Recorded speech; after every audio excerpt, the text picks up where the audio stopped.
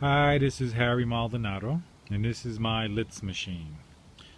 The machine is completed now. I needed to change my pulley.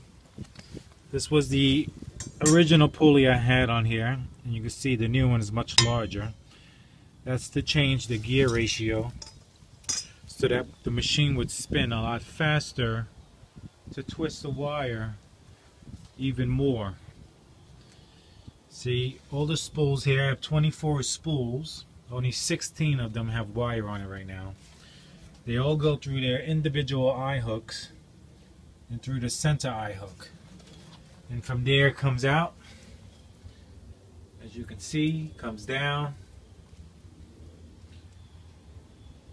to the spool and wraps around the spool. So I'm going to demonstrate the machine working now. Assistant, come in.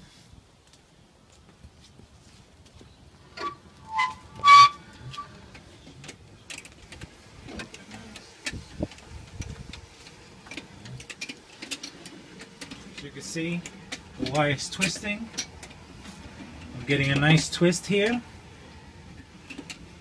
as it's wrapping around the spool on the bottom here.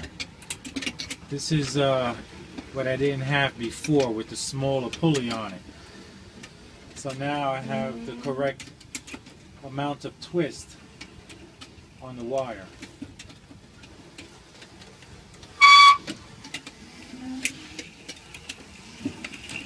So that's my Litz machine.